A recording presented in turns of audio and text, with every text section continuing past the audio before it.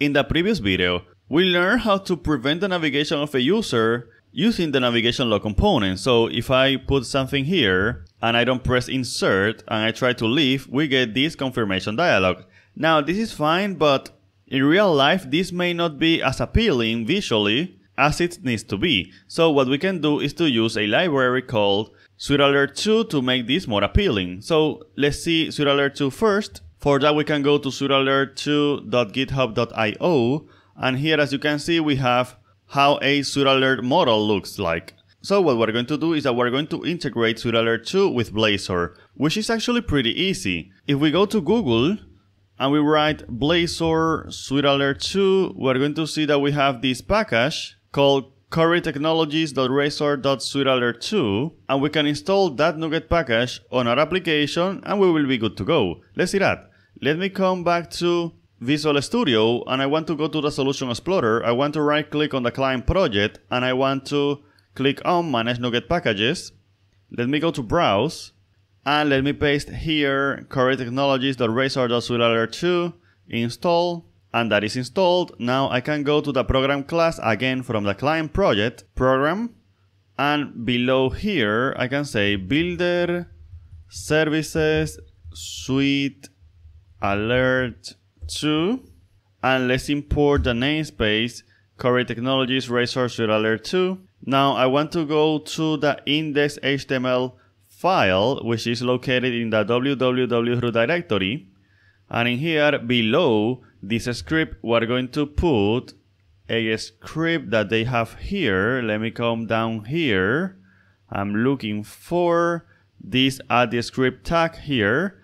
I'm looking for this one so I can just click on here to copy, paste here, and then I have to go to the imports component and let me say here using Currie Technologies dot razor dot alert 2 and now we're good to go. We can start using alert 2. So let's go to the index component. Let's come up here.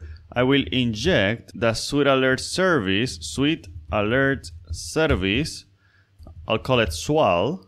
And then here on the on before internal navigation event, I want to come here and say var result equal to await swal fire async new sweet alert options and then pass the following parameters a title confirmation and just so you don't have to see me typing everything I will just paste it and as you can see, we have text, icon, show cancel button, confirm button text, and cancel button text, semicolon here. Now I can delete this confirm line, but what I will do here is that I will say var confirm not a string is null or empty result value semicolon here. And with this, if this is true, it means that the user click on the confirm button text.